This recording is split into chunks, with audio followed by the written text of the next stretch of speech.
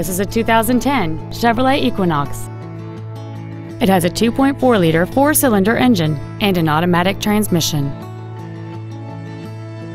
Its top features include cruise control, a keyless entry system, a CD player, a security system, an illuminated driver's side vanity mirror, traction control and stability control systems, an anti-lock braking system, rear curtain airbags, rear seat child-proof door locks, and this vehicle has fewer than 49,000 miles on the odometer.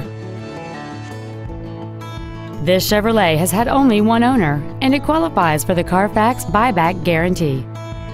Contact us today and schedule your opportunity to see this vehicle in person.